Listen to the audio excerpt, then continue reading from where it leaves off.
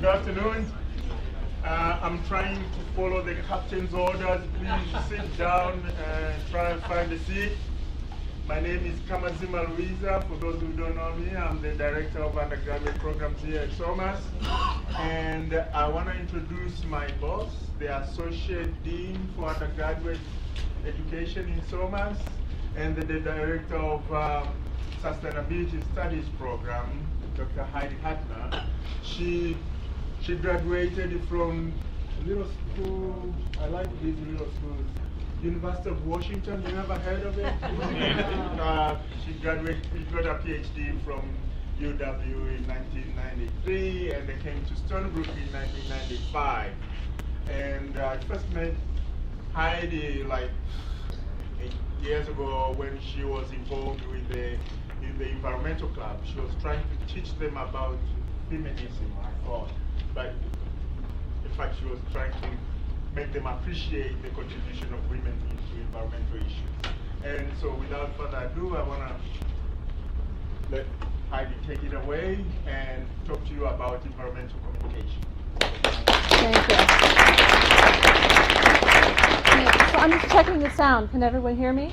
Yeah, great. So I'll tell you a little bit more about myself and why Larry asked me to talk today. I am a writer. Uh, I'm not a poet like David, but I'm a writer. I write narrative nonfiction, and I also write um, for, for news and for magazines and for, for the general public. I also keep a blog, and less so lately because I'm pretty busy, but I, I used to keep a blog regularly on environmental issues. And I also am very involved with media. I have my own webisode, which means I go into the studio, I invite the guests.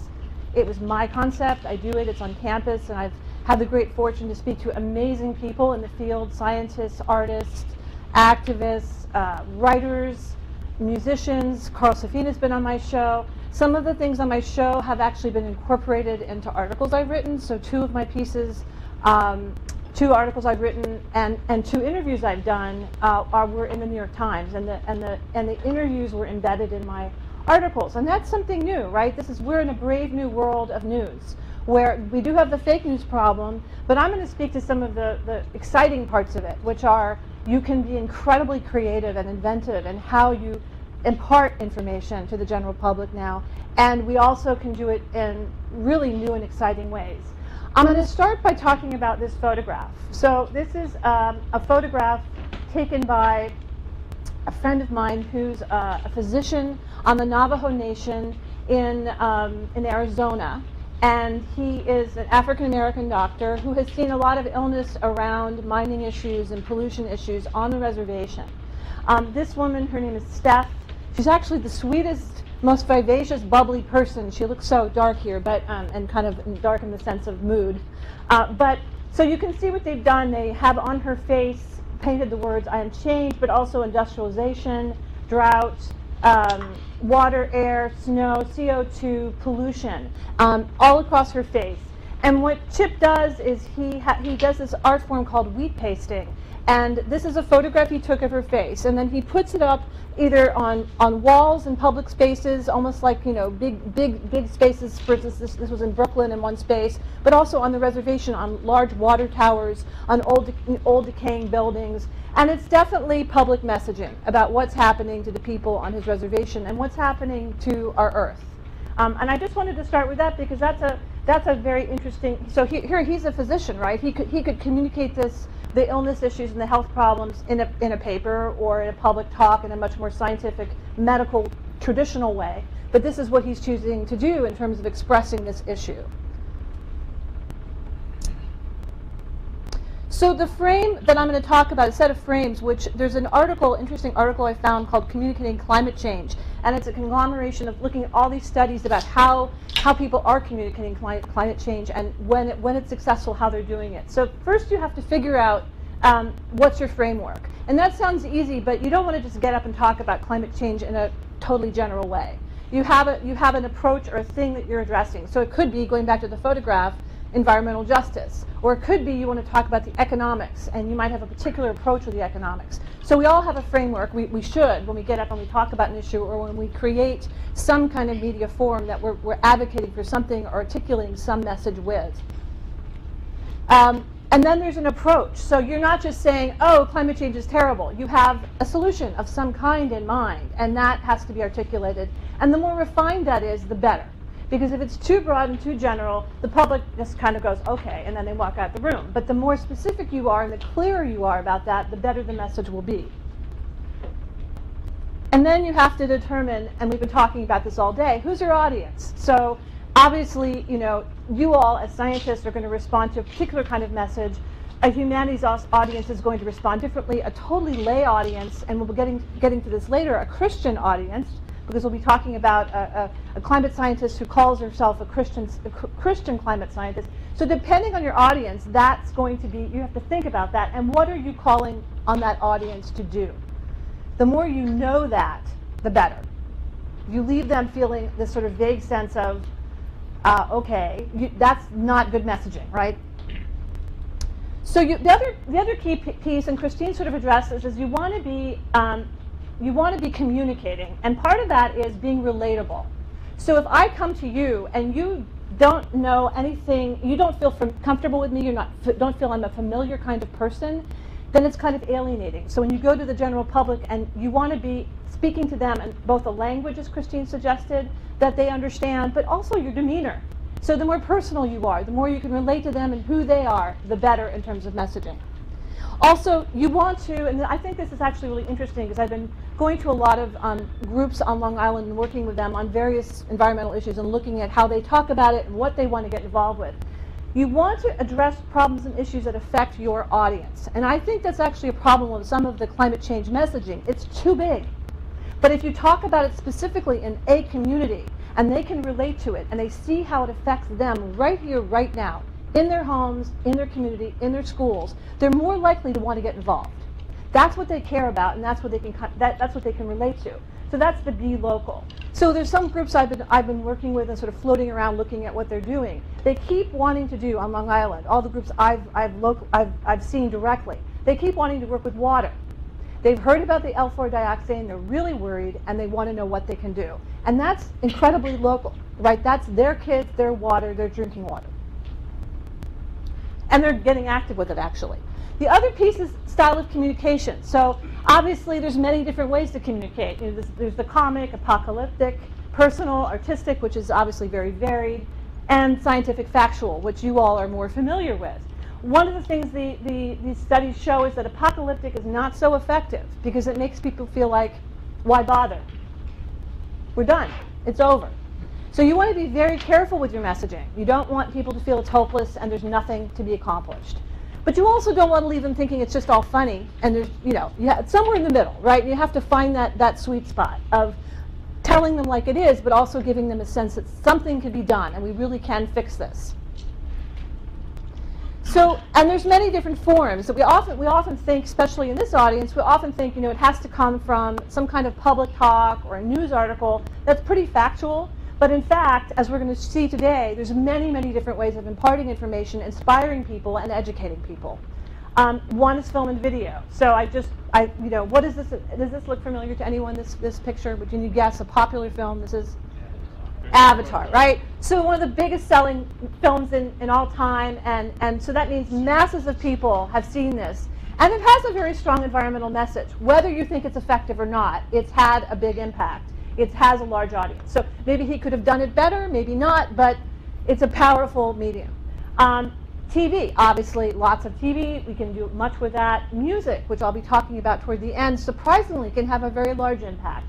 Um, art, many forms of that. We'll look at that as well.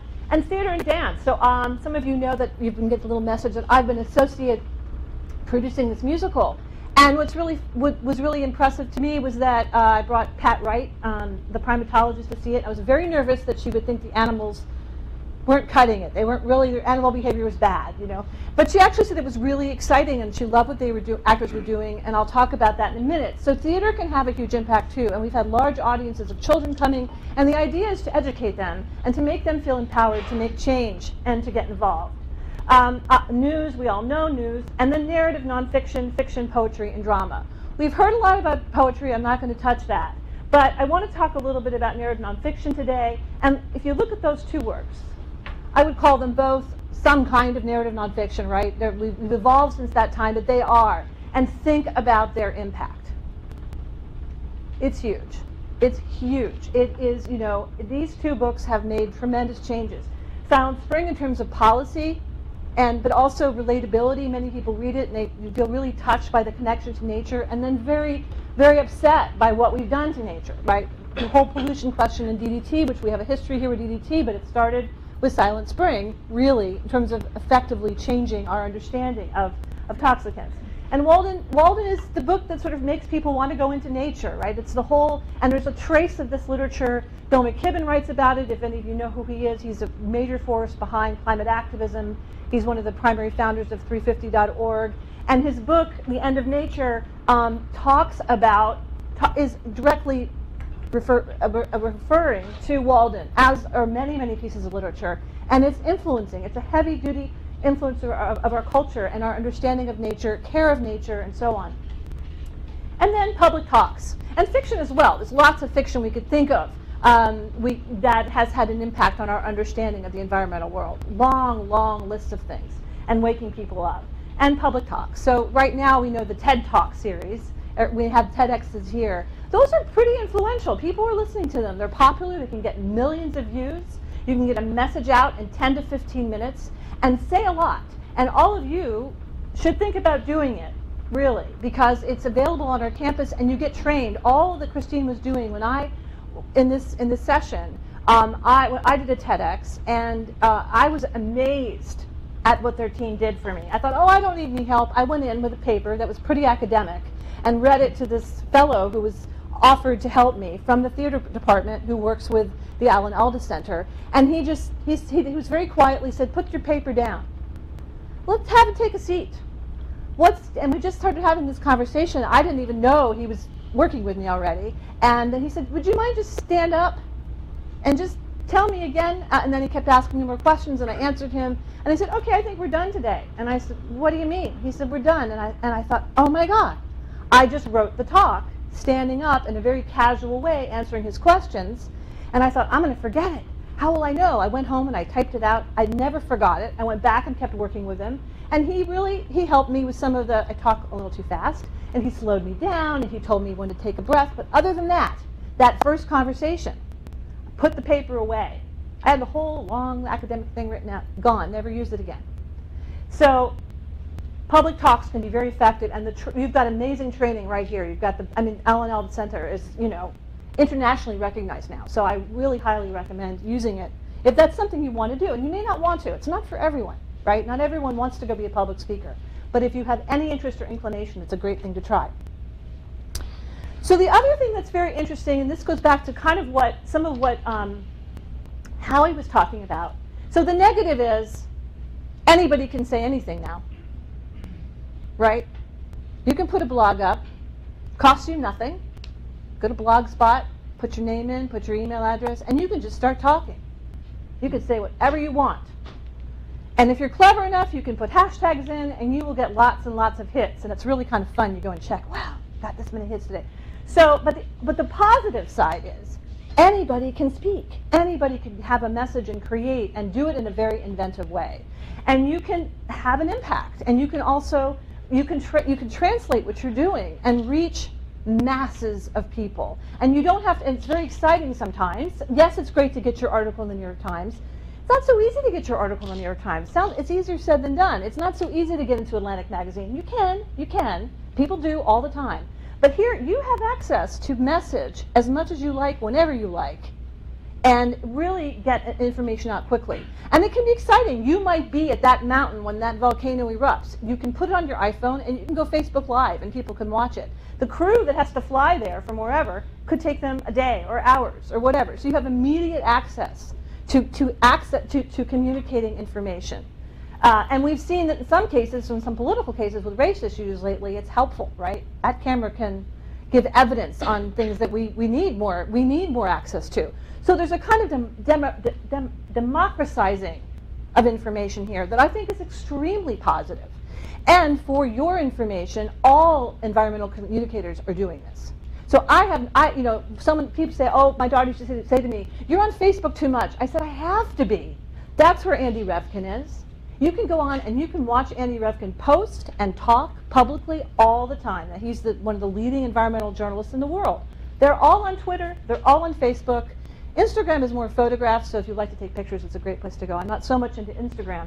Um, but they are important. And as I mentioned before, I created my own video show. You don't need, and it's great that we have a TV studio here, and Deanie's fantastic, and I, you know, it's a wonderful facility. However, you don't even need that anymore. You could just stand up with your camera and just start talking. And it, you, and this is a room full of people with really important information. And done in the right way, you can reach a lot. So it's a very, it's a, I think it's an exciting time. The key is you need to know who, who the person is blogging um, so, I mean, Andy Revkin blogs. I mean, that, that Dot Earth, which he is no longer doing now, he's at ProPublica, that was called a blog. So it's not always just my personal story and I'm telling you about my kids today. Some people do that and they take pictures of their vacation. It could be very high level work. You have to know what that is. So we do want to avoid fake news. You do want to do research. You do want to teach your students to do that. I use blogging in my class. Um, what it does and we do, you know, I usually work with a, a, TA to edit and make sure the writing is strong. It forces my students to treat their writing a little more seriously because they know it's public. So it, in that sense, it's very, it's very useful. And these are all skills that, you know, in my class we work on, video making, um, blogging. We do use Facebook some. And the reason I like Facebook, the other reason is it's a way to communicate um, what I'm teaching to, to more people. That's why I have a, my own personal website because I got tired of going to parties and having people say, What's, what book should I read? What film should I watch? What should I be doing? And I have everything that I work with my students on actually, um, lots of information so the layperson can go there and find out general information about environmental issues, books to read, films to watch, and that sort of thing. So I, I think it's a, it's a really interesting time for that. And it is your own voice. And within that, you use those techniques I talked about, choosing your message. That's the other piece, which is um, there's a whole branding aspect here. If this is something you want to do, you start defining who you are to the general public. They know to go to you for particular kinds of information, and they start to identify you as a type of brand. I know that sounds kind of crass, but that's how we are today. That's how social media works. We, we identify with something, and then we keep going back there as a source. Um, so there's lots of environmental films, I'm not going to go into each of these, that have had tremendous influence. We know Avatar. The Cove I want to talk about separately for a minute, but Everything's Cool is a really interesting one. Um, Heidi Cullen was in that. We brought Heidi Cullen here. I believe, Malcolm, you brought Heidi Cullen here? Earthstock a few years Earth, yeah, she's, she, now, she's a prime example of taking, being a scientist and really becoming a very effective communicator. And I recommend you're looking her up if you haven't seen her speak. And the film is very, it's actually quite clever. They show her evolution from her first time on TV to becoming more, more comfortable with it. And in the beginning, she's, you know, she's kind of a, I don't know what the word is to say, but she's, she's not very well dressed. Her hair's kind of a mess. She, she, she, she speaks, she uses too many words. And they tell her, you know, you have to dumb down your vocabulary, um, use, you know, don't use multisyllabic words. Uh, and she starts to see her. It's, it's kind of funny that bringing in makeup, doing her hair, so that she's somebody that the public identifies as a TV head, but they can also trust her in a way. They're more familiar with that. They're not familiar with scientists in the lab. And, they, and then she becomes an incredible, and today she's an incredible climate you know, climate abatement proponent, right? She's working really hard. She's at um, Princeton, and she has a whole network that's based on communicating climate, you know, in a very media savvy way. And when she speaks now, she's completely slick and excellent and, you know, totally the opposite of who you see in this film. She and was, she was a PhD meteorologist and then was the news announcer on the Weather Channel. Right. Now she's at Climate Central at Princeton. At Princeton, right.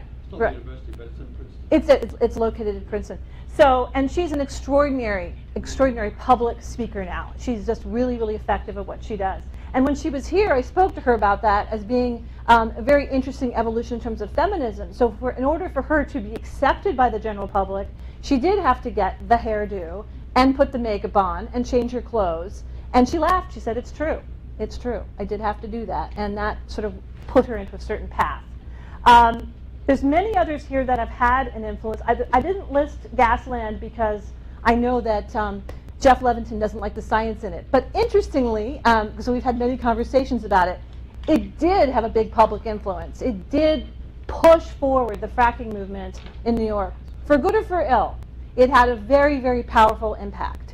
Um, and his films are not all accurate. They're not all factually accurate, but they do wake people up. They do get a lot of airtime. They raise questions about climate and about fossil fuels and imp important messages, I think, whether they're perfectly accurate or not. Um, so I want to talk about The Cove for a minute, which I think is a really, how many of you have watched The Cove or seen The Cove? So not, well, you, of course, one of my students has seen The Cove, and Sharon, I'm glad you've seen The Cove. So The Cove, this is where I found it to be very interesting. So The Cove starts out in the very beginning with Rick O'Barry, who was the original trainer of the first five dolphins on the Flipper show. How many of you watched Flipper? I love Flipper, right? Flipper was my favorite show as a kid, and then I wanted to, of course, that's the marine part, then I thought I would do something with marine, but didn't end up doing it, all because of the bottlenose dolphin, which I know many of you know, many students end up. But what he talks about is really the negative impact of media because that show spawned a huge, huge exploitation of the bottlenose dolphin. And he has this awakening where one of them, uh, one of those five, dies in his arms. And he tells you at the beginning of the film that he's convinced, she's looking in his eyes, that she's giving him a message. You did this. You created this horrible industry where bottles, bottlenose dolphins are fetishized and exploited. And it's horrible, you know, it's horrible. So then he goes on this mission to change it, and that's what the cove is about, is, is showing you the bloody cove. I saved you, I spared you the image of just blood red cove where the dolphins are brought in and the ones that aren't beautiful are slaughtered. They're separated from, it's just, it's a horrible enactment and you can see it. So what's interesting here, he moves from using media in one way, right? Flipper, I'm sure, made him a lot of money, a lot of other people money, and spawned a huge multi-million dollar industry of seaquariums and aquariums and the dolphin industry. And he has this realization, he says, it has to stop, and I need to educate. But how does he educate? A film.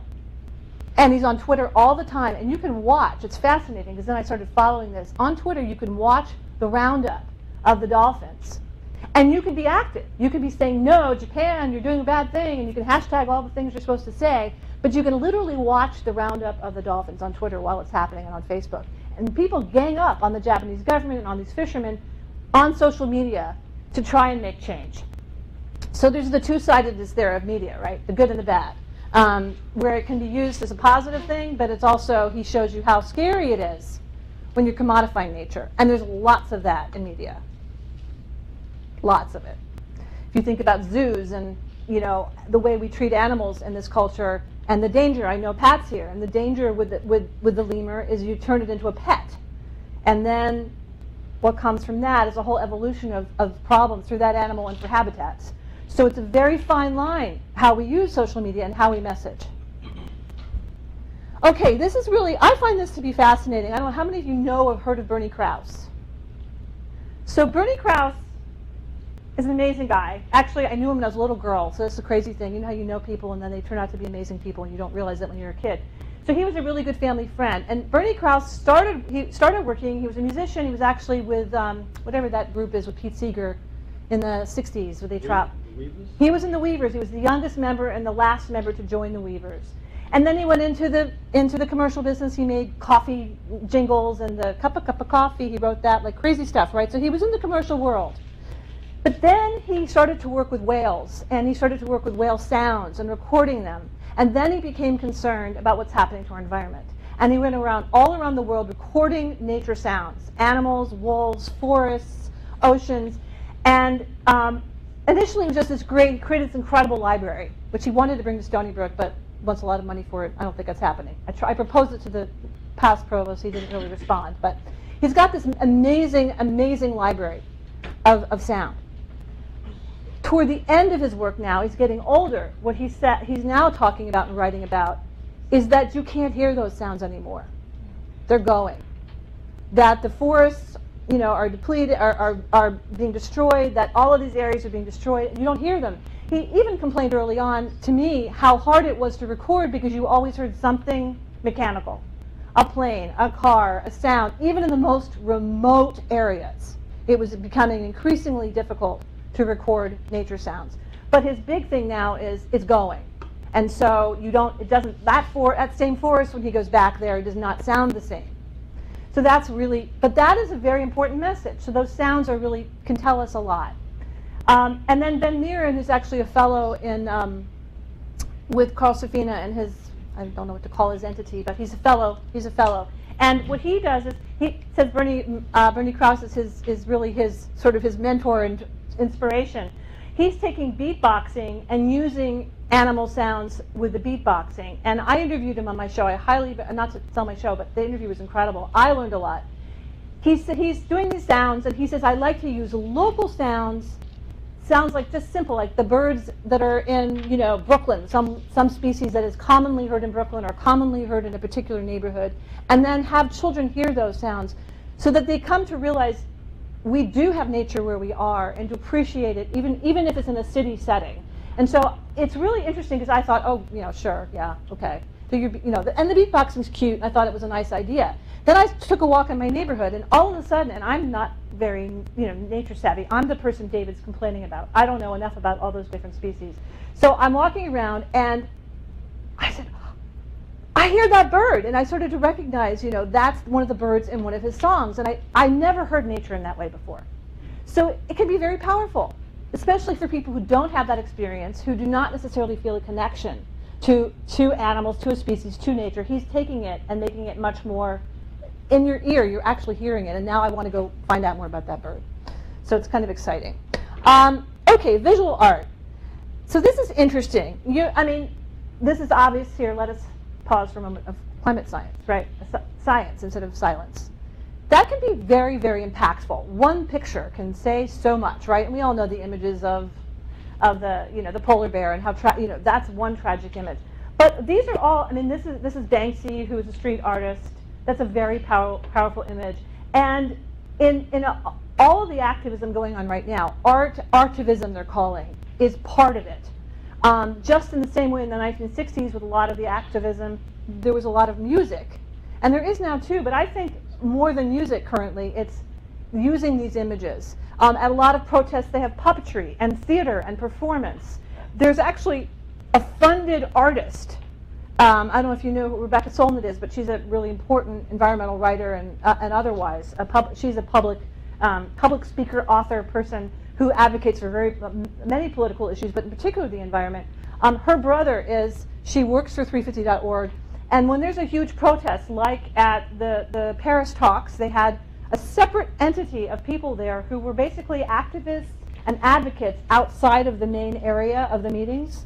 Um, and they were all doing their own thing, and a lot of it was art. And they planned for two months before the Paris climate talks a huge art event that would take place when they marched. And he was part of that. They had big studios, and people came. So there's this kind of participation Maybe you won't participate as a journalist. Maybe you won't participate as a scientist. But people can find ways of participating through art, which brings in a whole other set of people and then can communicate to a whole other set of people. Um, now this... What's that picture lower right? This one here? Yeah. It's a little fuzzy. I'm sorry about that, but this is really interesting. This is Mary Mattingly. Ha have any of you heard of the swale in New York City? Okay, I'm going to start with this because this is her work. What Mary Mattingly did is she, she wanted to understand waste. So Larry, I don't know if you're here. She took, they, she and her partner took, moved into a space, a small space with all of their belongings, and they cataloged each single thing. And they, they traced where these things were made, what they were made of, the impact on those communities, if you know had materials had been ex excavate, excavated from mining, um, maybe that material led to a war. So, and she put cataloged all of this in her computer and made it accessible uh, in websites to the general public. Then all of her items, they made, they put them together in these balls with string around them, and they created art pieces. So that's one of, you know, it's either she or her partner with one of their balls of stuff on top of them.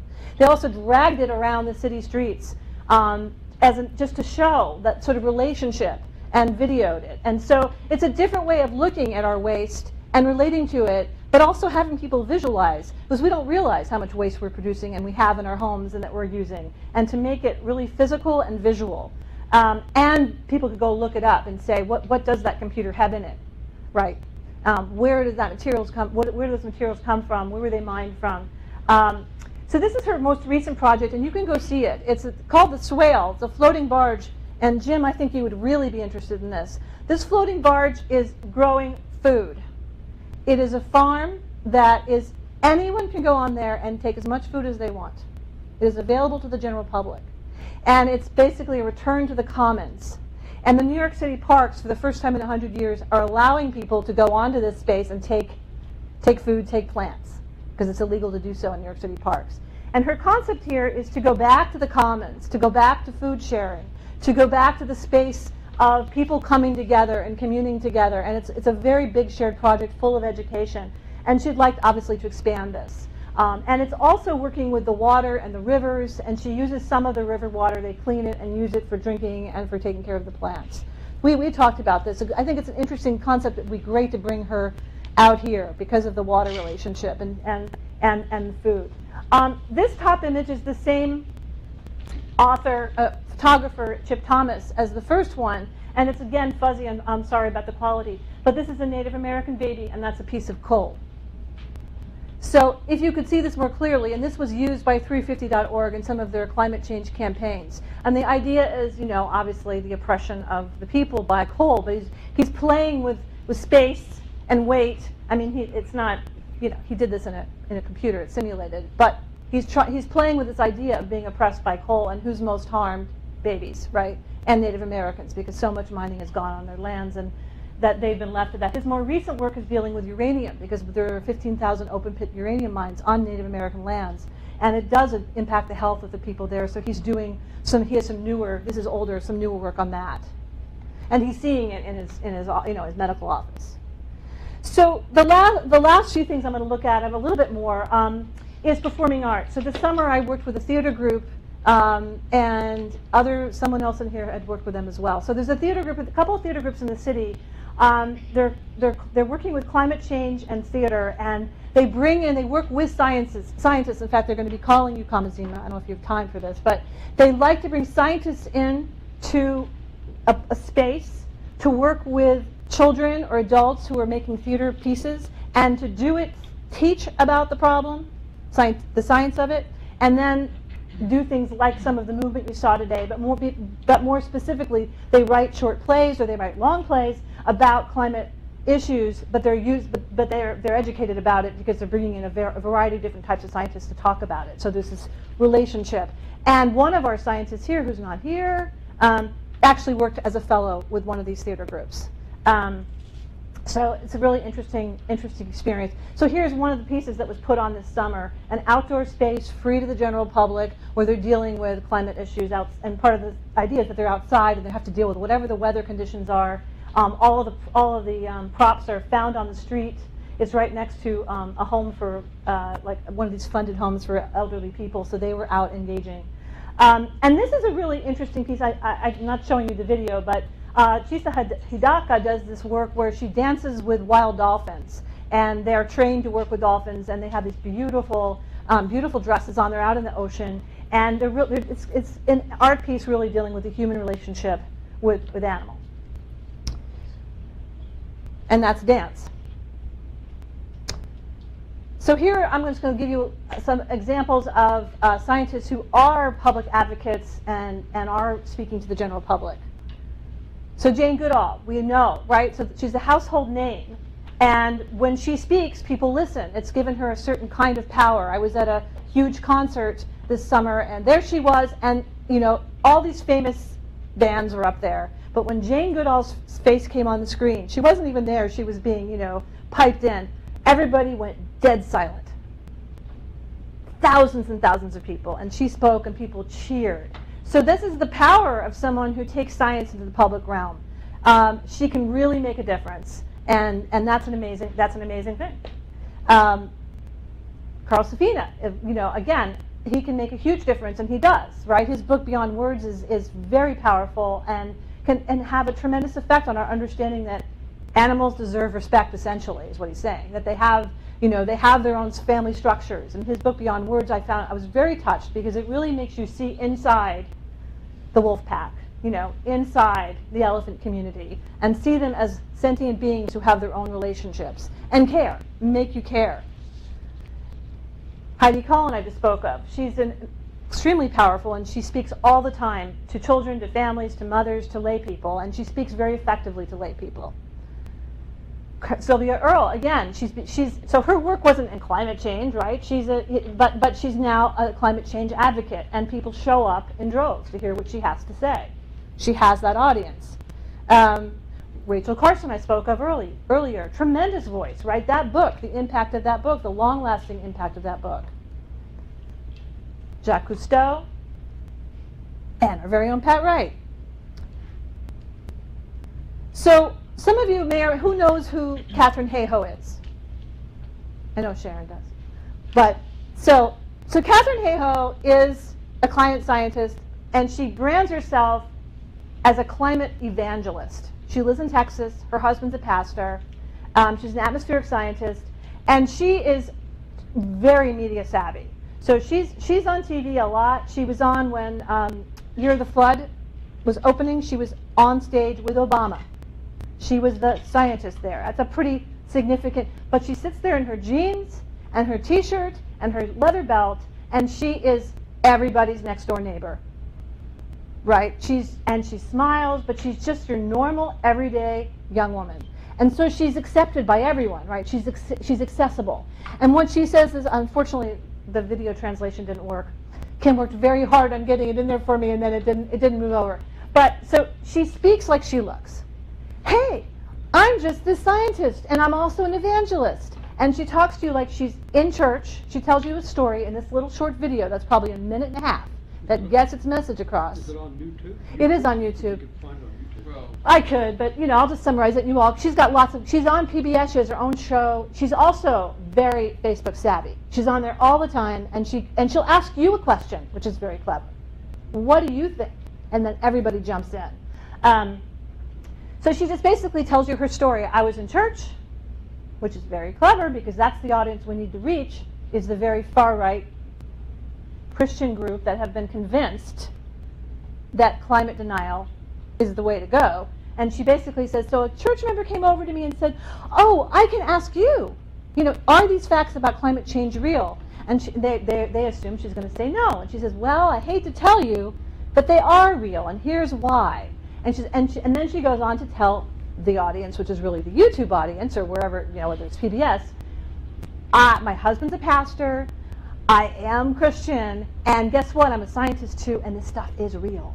And you know, she's she is winning people over in Texas. How much so, I don't know the stats, but so this is one really strong approach. And what is her? If you go back to the first things I talked about, she has a specific agenda here. Her agenda is to reach a denial audience and a Christian denier audience.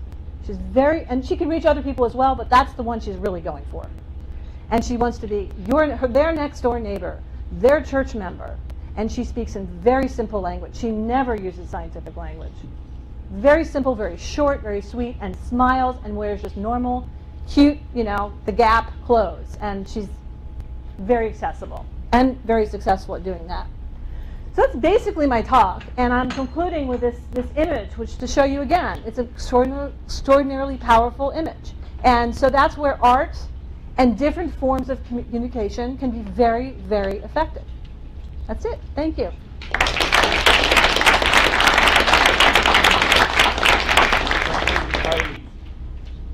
Yes.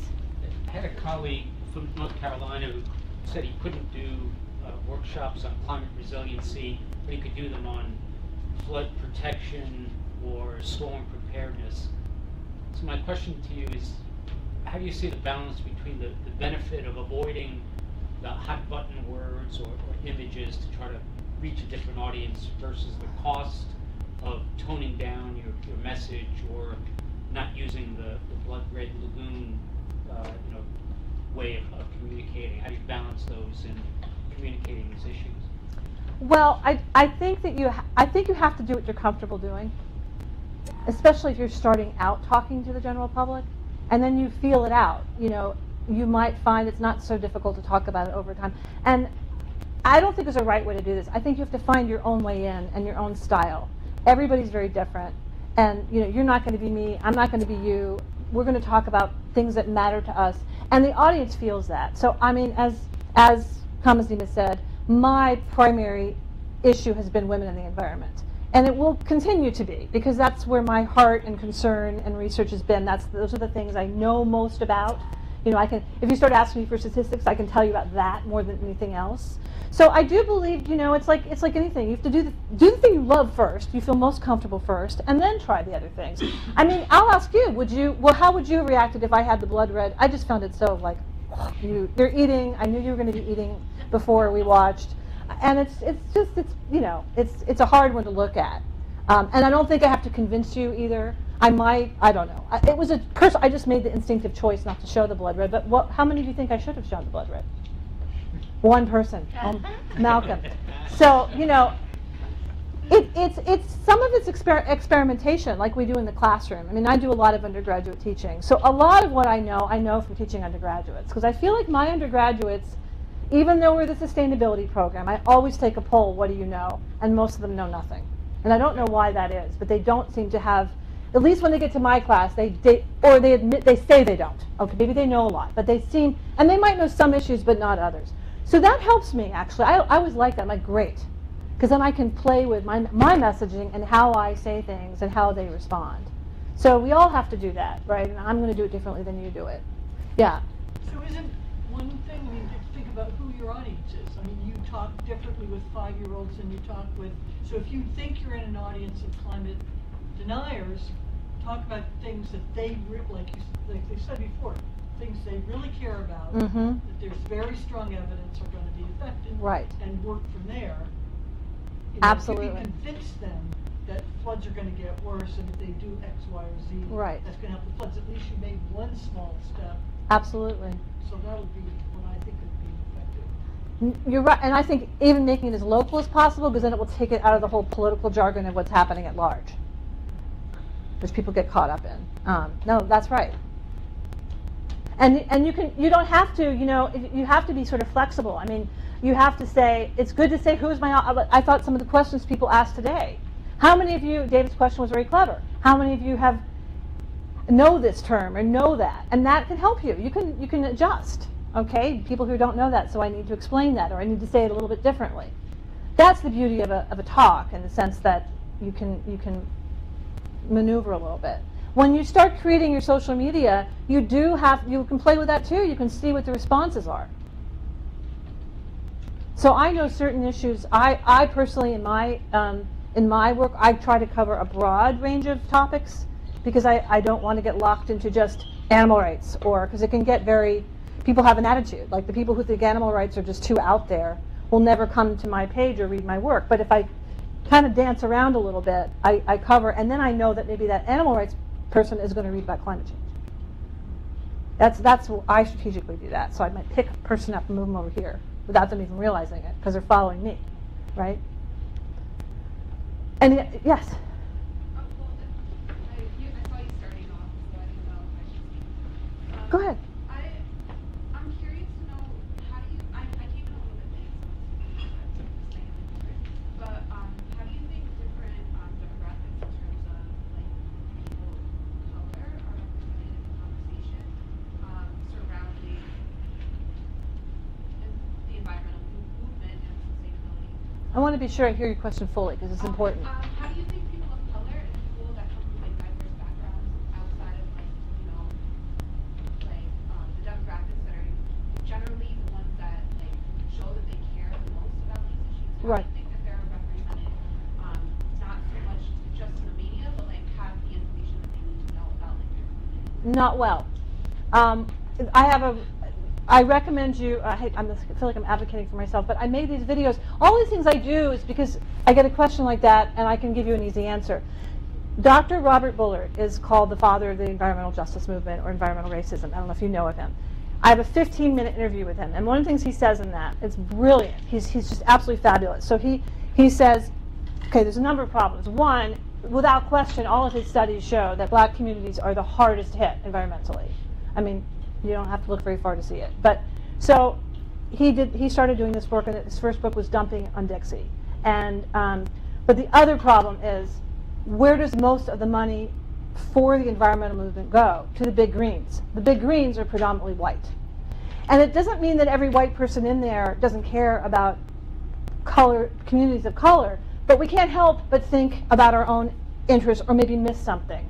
So he asks, one, we need to get, and there's a lot of articles on this, we need to get more people of color into the big greens, but we also need to donate to, to community, to, to groups and to communities of color too, because we think, we assume Sierra Club is covering environmental justice, maybe not enough, right? Yeah, Um, so, sorry, I just. that's okay. Um, so, how informed do you think people are about their communities and their situations? Like, do they, like, for the most part, is it like an issue that they don't know or that they don't care? Or if it's not like something like that's really a pressing issue for them, like how, how do you? Well, I don't want to generalize. There are communities that really do know and, and are very hard hit. And one of the problems is they don't have the power, they don't have money, they can't fight, right? I mean, and it's difficult enough for any community to fight on issues and push for policy and get elected and be in, be in a place where they can advocate for their issues. Um, so in some communities, they are very active, and there's lots of examples of that. A lot of times, what you'll hear is we're just fighting to survive, to pay the rent, to get food for their kids, to get a decent education, you know, basic, basic things. When are we, when do we have time to go advocate on an environmental issue? That's one of the big complaints I hear, is just, we, we assume, like, it's, it's a privilege to have the time to go to the march. It's a privilege to have the time to, to do the things, to advocate for environmental when you're just trying to survive. And that's why it's really important, according to Bob Bullard, that we step in and we don't let things like what's happening in Puerto Rico happen right? We don't let what, what happened in Michigan, right, in Flint, Michigan, happen because those communities won't have access to the power centers to make that change. So we need, we need to step up and, and be supportive. So those are really good questions. But I would follow Robert Bullard. He's awesome on this. Heidi, thank you so much. Thank you. There are two things that you said today that pushed my buttons. One. Only two? Well, two that I will talk about. Okay. One is a recollection of noise. My wife's a, uh, let's say, very, very experienced fly fisher woman. She's taught fly fishing. And we used to go to one of the most beautiful rivers in America, the Metolius River in Oregon. And we went up into the mountains there and hiked along. We probably hiked two or three hours going in. And our wilderness experience was absolutely destroyed when a helicopter came in Mm. and dropped off so-called the big game hunters, you know. They fished for a couple hours, but I'll always remember that noise Mhm. and how disconcerting it was. And um, what a disappointment in a way of uh, exploring, you know, destroying our experience. Yeah. The other thing that you mentioned, and maybe this, our group here being scientists will relate to it, Jacques Cousteau, that really pushed my buttons. First of all, he dealt a lot in misinformation. He exploited his people he was getting money from. And I really question whether what he did was to the overall benefit of the environment in, in many ways. Now, again, referring to my wife, I would come home and swear about Jacques Cousteau, who I knew, and she would say, Larry, he has raised more money than you will ever hope to raise. And so, shut up. But despite that, I was quoted in the Washington Post as saying he was not playing with a full deck. Uh, but, you know, this is the kind of thing I think that the scientific community worries about is the misinformation Right. that some of the great spokespeople that we have um, provide to the public. Right. How do you react to that? Well, I I agree with that. I mean, I always, you know, I don't give to the big greens for that reason. I, I'm, I'd rather give to a group I know immediately can benefit. So I don't trust anyone, to tell you the truth. So, you know, you don't know until you go into the coffers and see where the money's going. I say it about some of our leading climate advocates. Like, boy, that, that person gets about $50,000 a talk, and they're flying all over the place. What are they doing with that $50,000? How many $50,000 do they need for that one hour? Is it going back to help? How much of it's going back, you know? So I'm, I'm with you, I, and I don't know the details of Jacques Cousteau. I can take him out of my talk now that I know. But um, you know, I think we all we all want to be careful of that. We want to be supporting people doing good work, but we also want to know what's what are they doing with that? Is it really going back to the thing that you Red Cross people, you know, all these organizations. You've got to be people. People think that pink, the whole pink campaign, is a scam. Many people argue this, you know, and it's bringing in a lot of money, right? So yes, I agree. We got to get going over to the Wang Center. Again, Heidi, thank you so Thank much. you. Thank you. Thank you for asking. Hmm? us. Thanks for asking.